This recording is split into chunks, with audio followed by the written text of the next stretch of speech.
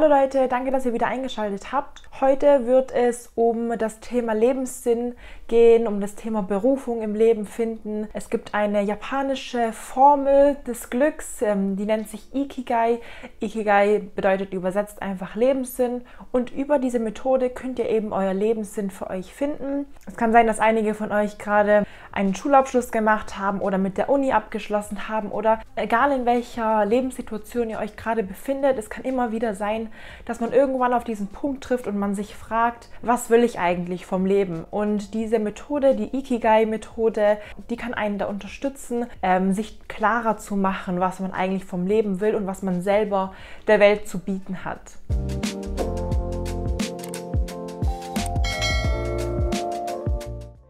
Ich glaube ja, dass jeder Mensch mit einer mit einem Talent oder einem Geschenk geboren wird, dass jeder von Geburt aus etwas von Natur aus gut kann, egal ob es jetzt was Großes ist wie keine Ahnung ein Talent wie Singen oder ob es etwas kleineres ist wie jetzt beispielsweise ähm, mit Menschen gut kommunizieren können, Menschen verstehen können, empathisch sein, gut mit Tieren umgehen können oder sowas wie Haare schneiden. Also jeder trägt in sich ein Geschenk von Geburt aus und im Laufe der Jahre tut sich dieses Geschenk immer mehr herauskristallisieren. Man erkennt immer mehr, worin man gut ist und was man gut kann. Ich finde, es ist auch wichtig zu erwähnen, das, was du am besten kannst, ist das, was dir am leichtesten fällt. Das, was du ohne zu viel Mühe zu investieren von Natur aus leicht machen kannst, was dir sehr leicht fällt, was dir Spaß macht, was dich glücklich macht. Und es, ist, es kann alles Mögliche sein. Ich bin mir sicher, dass jeder von uns so etwas in sich trägt. Bei manchen Menschen ist es so,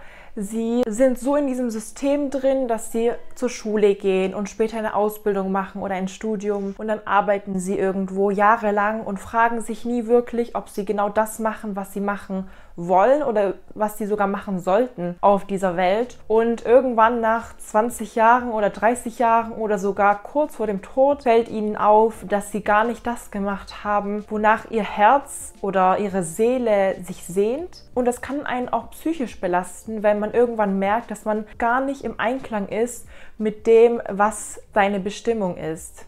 Es ist sehr wichtig, dass man erkennt, dass jeder einzelne Mensch auf der Welt eine bestimmte Aufgabe hat und egal wie groß oder wie klein es sein mag, alles, was du tust, wird irgendwie in irgendeiner Art und Weise die Welt prägen, wenn du schon lange weg bist. Und es ist deswegen wichtig, dass man sich klar macht, was ist meine Aufgabe hier. Und das gibt dem Leben eben einen Sinn und man, man weiß dann, warum man jeden Morgen aufsteht.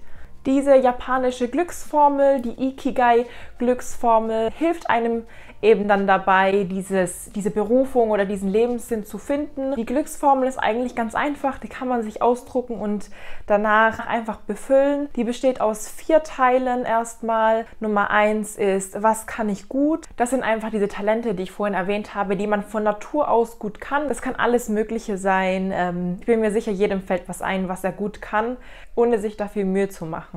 Nummer zwei beinhaltet das, was du gerne tust. Was machst du gerne? Es muss nicht irgendwas sein, was du unbedingt gut können musst, aber einfach, was sind deine Hobbys? Was macht dich glücklich? In welcher Situation fühlst du dich am besten? Der dritte Part dieser Glücksformel ist, was die Welt braucht. Also was braucht die Welt von dir mit diesen Eigenschaften, die du dir aufgeschrieben hast? Was davon könnte die Welt brauchen? Was kannst du machen, um die Welt zu verbessern mit den Mitteln und Eigenschaften, die du eh schon in dir hast? Und die vierte und letzte, der vierte und letzte Kreis sozusagen ist, wofür kann ich bezahlt werden? Also du hast ja dann dir notiert, was du alles gut kannst, was du liebst und was die Welt brauchst. Und jetzt kannst du sehen, was kann ich denn mit diesen Eigenschaften machen, um diese Eigenschaften zu Geld zu machen. Das kann selbstständige Tätigkeiten sein, das kann im Berufsleben sein, ganz normal als Angestellter.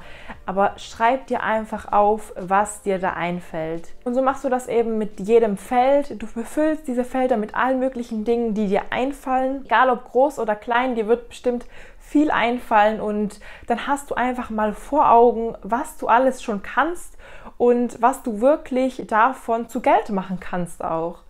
Wenn du dann nämlich diese vier Aspekte vor dir hast, dann ergibt sozusagen die Mitte davon das, was alles verbindet, wo das aufeinander trifft, was du gut kannst, was du gerne machst, was die Welt braucht und für was du bezahlt werden kannst, dein Ikigai, also dein Lebenssinn. Und selbst wenn du im Endeffekt durch diese Methode nicht deinen Traumberuf findest oder nicht sofort deinen Traumberuf findest, hilft dir diese Methode trotzdem irgendwie, dich selber besser kennenzulernen und dir vor Augen zu halten, was dir wichtig ist. Und laut den Japanern hilft diese Methode einfach, einem eine Art innere Zufriedenheit zu erlangen. Jetzt kann es natürlich auch immer sein, dass sich über die Jahre hinweg dein Ikigai verändert. Die einzige Konstante im Leben ist ja Veränderung. Das heißt, es kann sein, dass du jetzt die nächsten fünf Jahre genau das machen willst und auf einmal merkst du, du kannst die Welt doch mit anderen Sachen verbessern oder du kannst mit anderen Sachen Geld machen. Also dieses, dieser Lebenssinn oder diese Berufung kann sich immer ändern und dir und sich deiner Lebenssituation oder deiner derzeitigen Persönlichkeit anpassen. Sobald man dann nämlich weiß, was man machen kann, kann man anfangen, erste Schritte in diese Richtung zu wagen. Und es muss jetzt nicht direkt so was Größeres sein, wie direkt in so einen Job einsteigen, aber man kann Kurse belegen. Es gibt online ganz viele Kurse zu den verschiedensten Sachen. Man kann sich informieren, man kann ähm, ein Praktikum machen. Es, es gibt wirklich unendliche Möglichkeiten, um einfach mal ein bisschen auszutesten, wie fühlt sich das an für mich?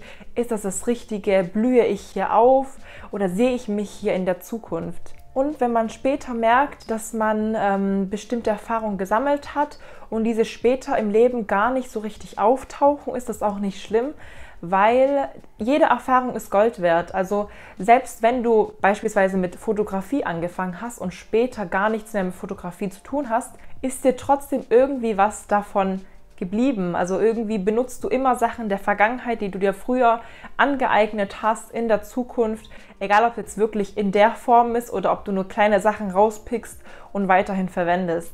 Bei mir war das so, ich habe irgendwann ähm, entdeckt, dass im Großen und Ganzen kurz gefasst ich es mir zur Berufung machen will, anderen Menschen zu helfen. Das macht mich glücklich, wenn ich weiß, dass ich jemandem helfen konnte, egal ob es mit einem Ratschlag war oder mit etwas Großem, wie wenn ich über Tutorials euch irgendetwas beibringe. Und dass ich meine eigene Persönlichkeit immer mit einfließen lasse in das, was ich tue. Also ich gehe irgendwie unter, wenn ich etwas zu lange mache, wo ich meine eigene Persönlichkeit und Kreativität nicht mit einfließen lassen kann. Ich merke dann nach einer Zeit, dass mich das unglücklich macht. Wenn ich aber mich selber zeigen kann und zeigen kann, wer ich bin, in egal was ich tue, dann macht mich das längerfristig glücklich. Somit kannst du dann mit dieser Ikigai-Methode auch rausfinden, was dir am wichtigsten ist im Leben, in deinem Beruf oder was auch immer, was dir am Herzen liegt und was du der Welt geben kannst. Zum Thema Ikigai, zu der japanischen Glücksformel, gibt es auch mittlerweile ganz viele Bücher. Also wenn euch das interessiert, kann ich euch unten mal ein paar Bücher verlinken. Dann könnt ihr euch da selber noch mehr informieren.